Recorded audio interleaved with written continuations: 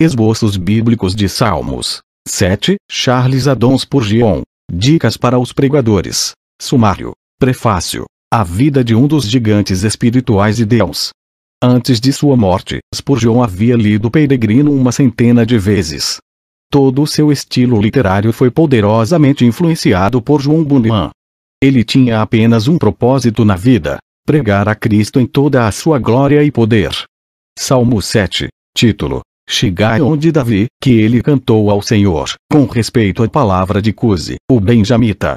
Confissão de Davi, até onde podemos constatar pelas observações de homens doutos, e de uma comparação desse salmo com o único outro Shigaio na palavra de Deus. Abacuque 3, 1, esse título parece significar cânticos variados, com o qual está associada também a ideia de consolação e prazer.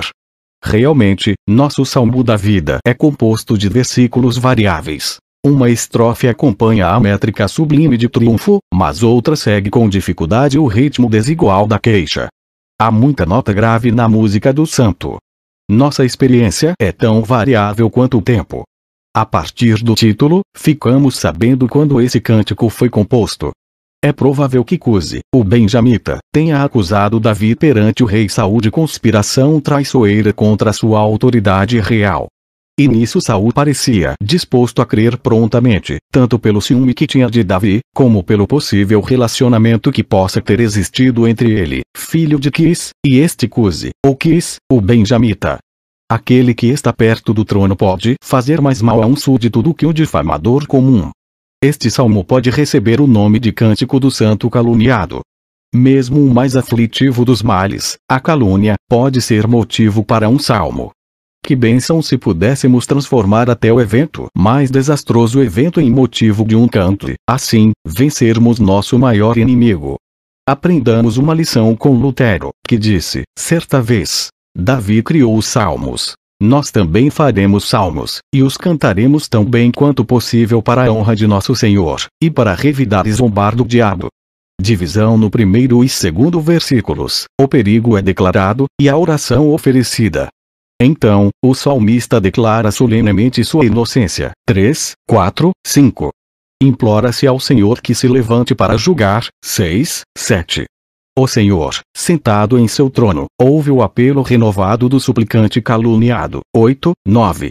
O Senhor inocenta seu servo e ameaça os maus. 10, 11, 12, 13. Numa visão, o caluniador é visto com uma maldição sobre sua própria cabeça. 14, 15, 16, enquanto Davi se afasta do julgamento cantando um hino de louvor ao seu Deus justo. Temos aqui um sermão nobre sobre esse texto. Nenhuma arma forjada contra você prevalecerá, e você refutará toda língua que a acusares 54, 17. Dicas para o pregador vers. 1. A necessidade de fé quando nos dirigimos a Deus. Mostre a inutilidade da oração sem confiança no Senhor. Vers. 1, 2. Vistos como uma oração para libertar de todos os inimigos, especialmente de Satanás, o leão. Vers. 3 autovindicação diante dos homens. Quando possível, sensato ou útil. Com observações sobre com que espírito isso deve ser tentado. Vês. 4. A melhor vingança. Mal por bem é estilo do diabo, mal por mal é estilo de fera, bem pelo bem é estilo do homem, bem pelo mal é estilo de Deus. Vês. 6. Como e em que sentido a ira divina pode se tornar a esperança dos justos? Fogo que se vence com fogo, ou a ira do homem vencida pela ira de Deus. Vês. 7. A congregação do povo. 1. Quem são? 2. Por que se congregam um com o outro? 3. Onde congregam? 4. Por que escolhem tal pessoa para ser o foco central de sua congregação? Vês. 7. A reunião dos santos em torno do Senhor Jesus. Vês. 7. Última cláusula. A vinda de Cristo para julgar pelo bem de seus santos. Vês. 8. O caráter do juiz diante de quem todos precisamos nos colocar. Vês. 9. Primeira cláusula. 1. Mudando seus corações. Ou 2. Refreando suas vontades. 3. Ou privando-as de poder. 4. Ou removendo-as.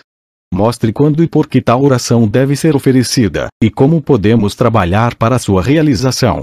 Vers. 9. Este versículo contém duas grandes orações, e uma prova nobre de que o Senhor pode concedi-las. Vers. 9. O período de pecado e a perpetuidade dos justos, Mateus Henry. Vers. 9. Ao justo dá segurança estabeleça os justos. Por quais meios e em que sentido os justos nomeados, ou, a verdadeira igreja estabelecida. Vers. 9. Última cláusula.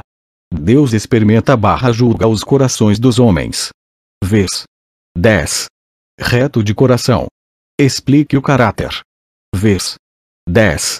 A confiança do crente em Deus, e o cuidado de Deus sobre ele. Mostre a ação da fé em obter defesa e proteção, e daquela defesa sobre nossa fé fortalecendo-a. Vers.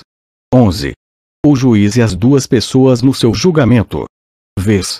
11. Segunda cláusula. A ira presente, diária, constante e veemente de Deus contra os maus. Vers. 12. Veja o sermão de Spurgeon. Se voltar ou se queimar. Vers. 14, 15, 16. Ilustre com três figuras os artifícios e a derrota dos perseguidores. Vers. 17. O excelente dever do louvor. Vers. 17.